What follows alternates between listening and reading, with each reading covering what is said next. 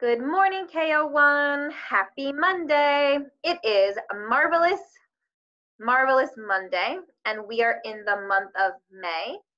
And we are on May 4th, actually, but I'm not going to show you what the pattern piece is for the day because we have to figure it out.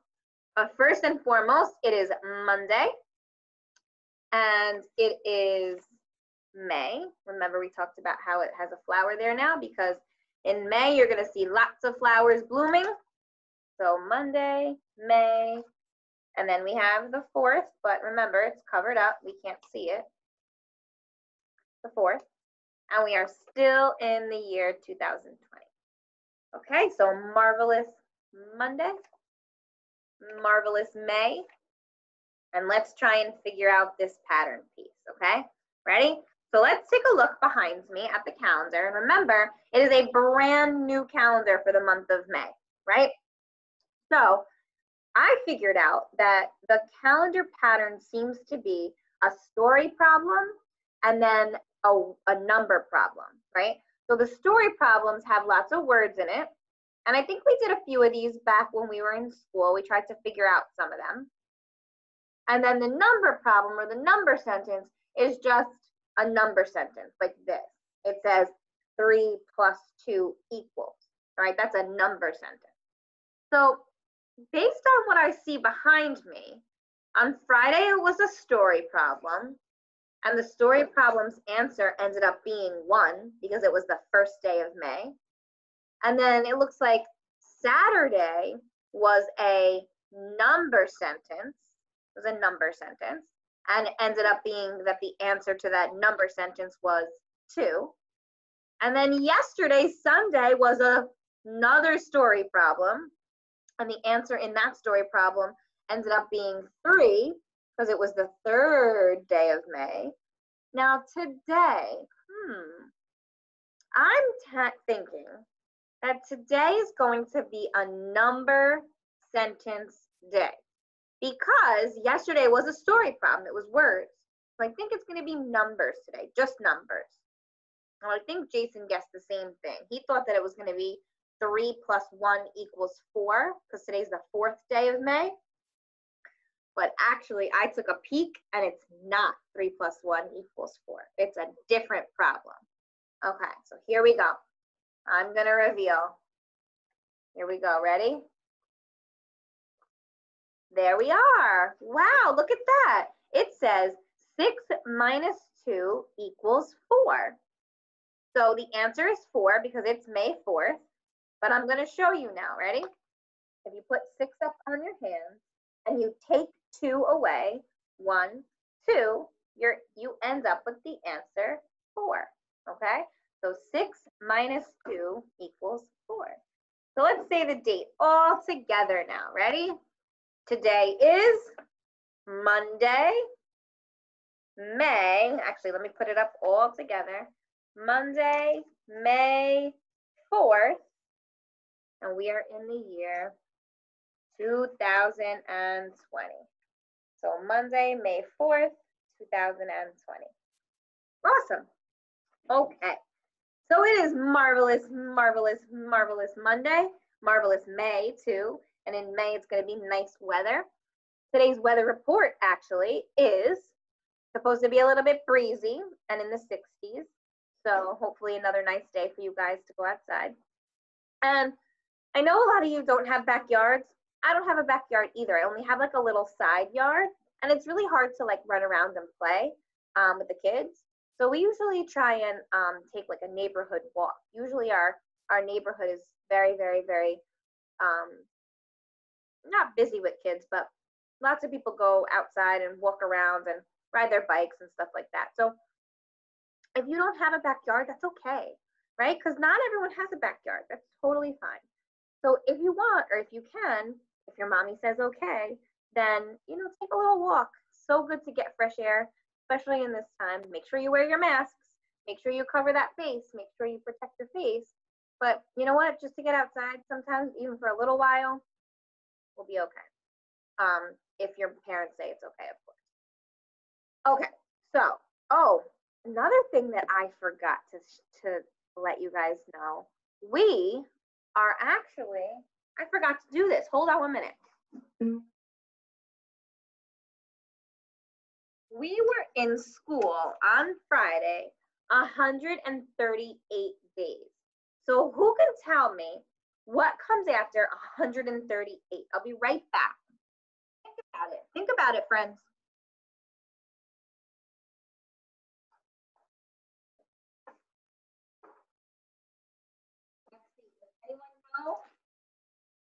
Does anyone know what comes after the, the number 138? It's a really big one. It's a really big number. I'm going to show you. We are in school for a hundred and 39 days of school. Look at this big number. My goodness. We've been in school for 139 days, my friends. That is such a lot of days. And like I always say to you, even though school is not in the building, we are still in session, right? We still have school in session. So even though you guys, you know, might not see me in the classroom every day, you see me on the screen every day, right? So please, please, please, please remember to do your work. 139 days of school is a lot of days of school. Okay, so here goes. Next, I gotta talk to you about our new character trait for the month of May. This is crazy. So we are in a brand new month, and that means that we have a new character trait. And I want you guys all to say this word for me encouragement. I want to hear you. Say encouragement. Wow, it's a big word. So I want you to try and think about what encouragement means. I'm going to write it on this post-it right here. Encouragement.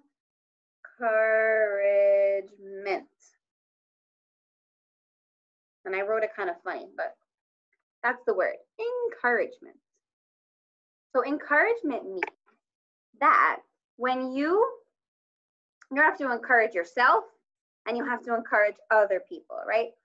So a way to do that is when we have we've been sitting at home for a long time, right? So while we're sitting at home, I want you to think. I want you to think about all the thoughts that you have in your head and all the things that you know you're really good at, right? all the strengths that you have. So I know I'm really good at writing.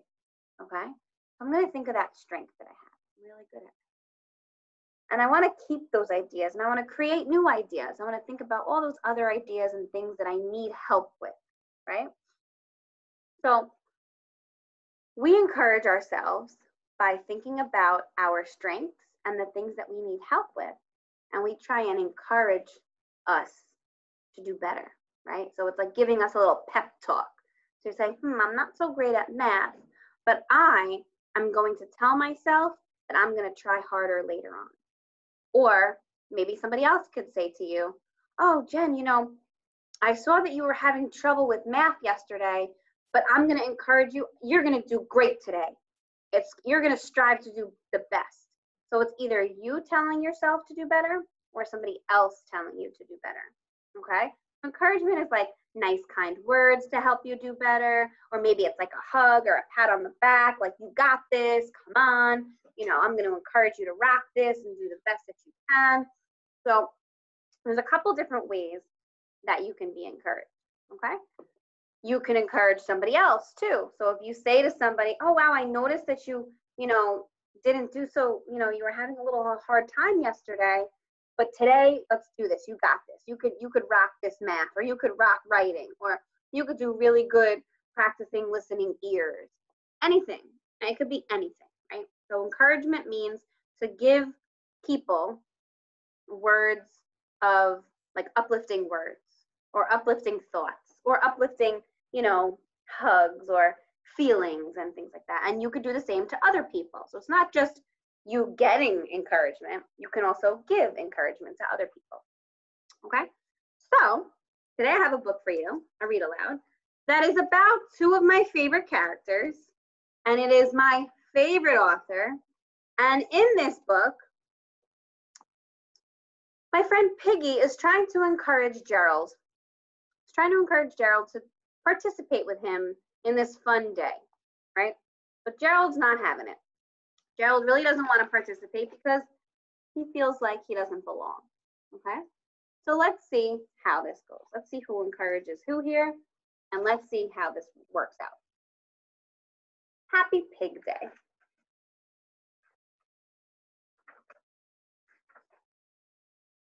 Gerald, Gerald. I am so happy.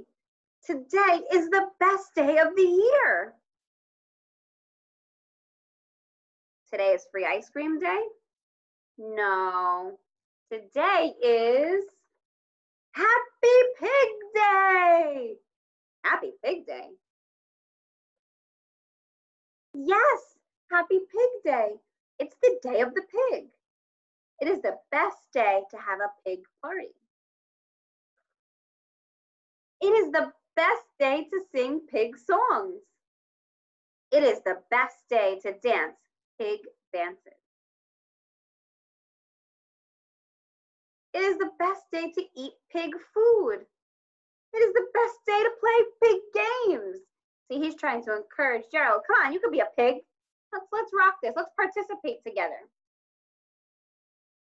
It is the best day to say oinky oink oink. That means happy pig day in pig. Ooh, I did not know about pig day.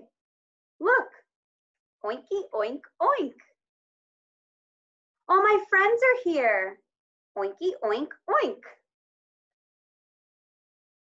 Oinky oink oink. Look at all them. Look at all these pigs. That is a lot of pigs. Gerald doesn't feel too hot now. He doesn't feel too good now. Oinky, oink, oink.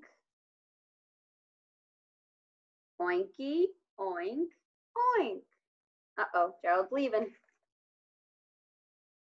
Isn't this great, Gerald? Gerald? Uh-oh. Are you okay? I am sorry, Piggie. I have a trunk and I have big ears. I am gray and I do not have a snout. I do not have hooves and I am not pink. I want to say Happy Pig Day in Pig, but I'm not a pig. I am an elephant, and I not, do not belong.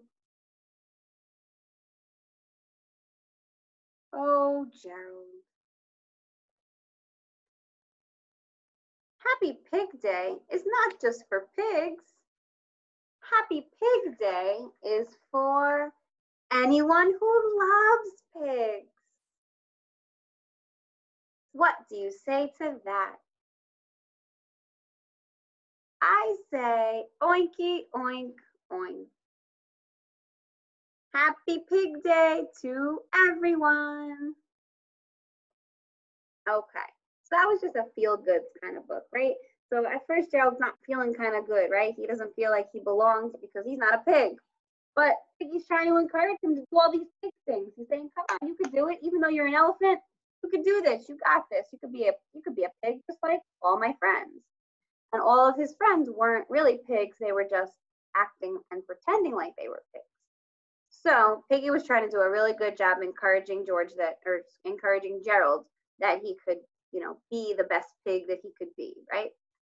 So for crew today, what I want you guys to do is I want you to think of either somebody that encouraged you to do something great or if you encouraged somebody to do something great. Okay. So, for example, it could be like I encourage KO1 to do a great job doing all of their schoolwork, right? Or listen, or having good listening ears, or being good and kind friends, right? So I encourage KO1. I encourage my own kids to do the best in everything that they can, not just schoolwork.